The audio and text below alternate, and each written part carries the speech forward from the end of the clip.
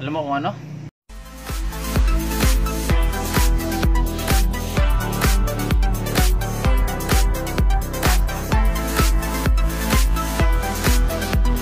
Yo! What's up? At welcome ulit sa ating YouTube channel. At ngayon naman papakita natin ang Lens Beach ng Biliran.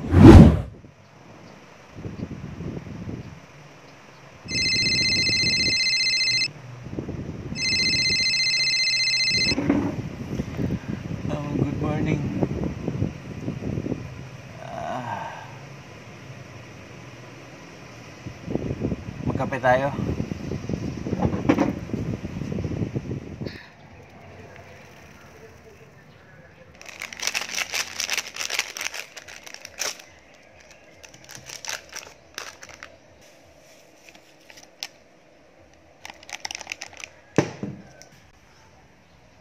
Ooh, dudes. That's hot.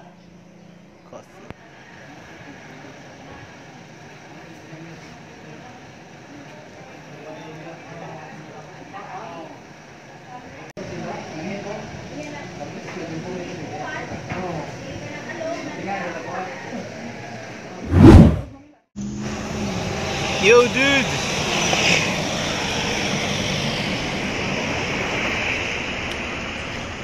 Yan mga katribo, nandito ako ngayon sa ano.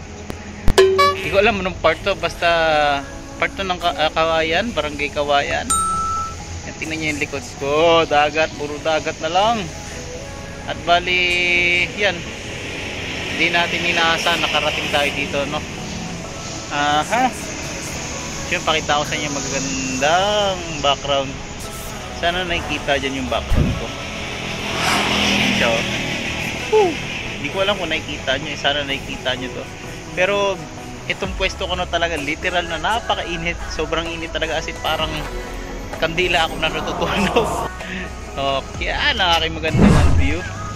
Um, ako ba, bilang baguhan sa ano, pagbablog, ah, baguhan tayo dito, no. Payo ko lang halimbawang napanood ko rin to eh na-realize ko na dapat ganun din talaga tayo sa ating mga gagawin sa ating mga pagbablog kung ano yung nasa buhay natin kung ano yung ginagawa talaga natin. Kasi yung mismong ah, mismong ginagawa mo yun yung istorya kung saan ka makikilala kung ano yung ginagawa mo. At sana dito sa vlog na ito no wala man akong advice na hindi, hindi ko man kay advice yung mga kagaya ng iba na napakagaling mag-advise pero yung akin lang magandang view.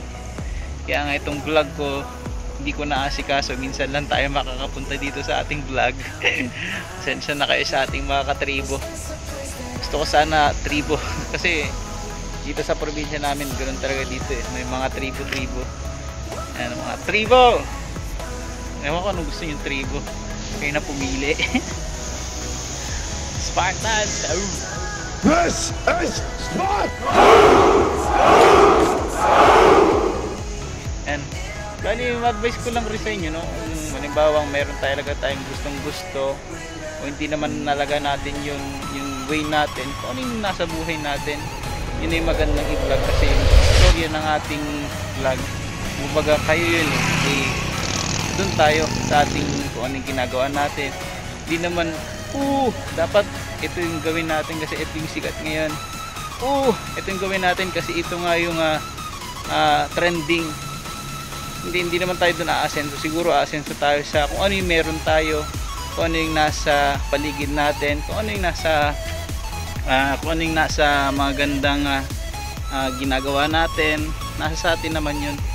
Bali ganyan siguro. Yeah. Stay tuned.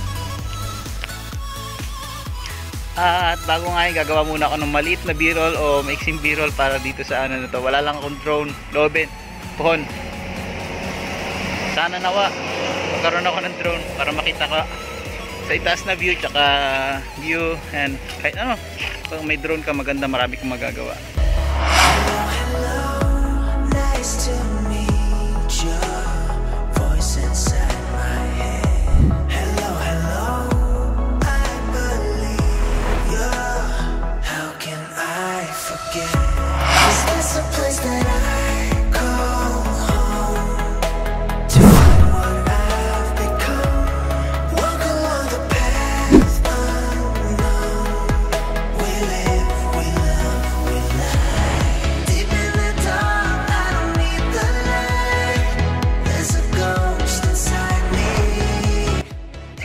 Video nga pala ako tungkol sa ano.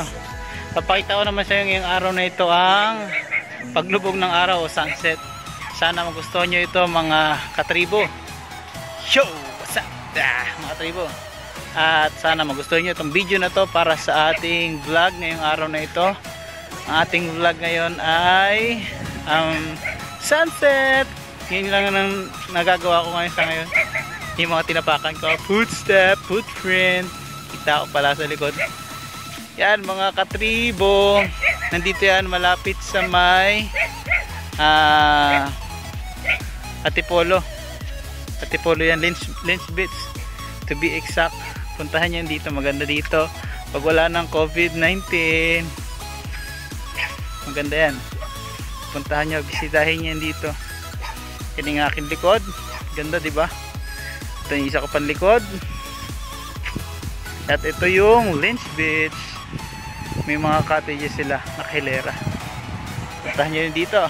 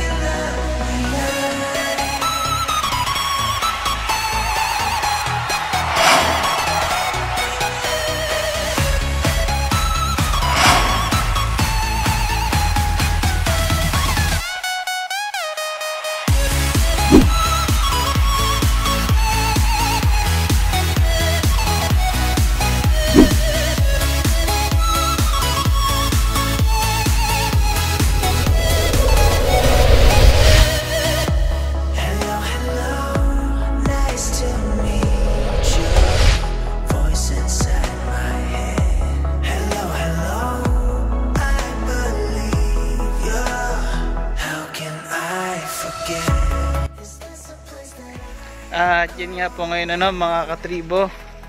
At kasalukuyan ay pauwi na ako. Galing sa Lynch Beach.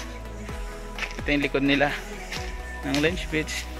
Hindi na masyado na trabaho kasi walang customers and COVID-19. Sige hanggang dyan mga katribo. Sana magustuhan nyo itong video na ito. Maganda dito bumisita kayo. Lens Beach sa may barangay Atipolo na Valbilira.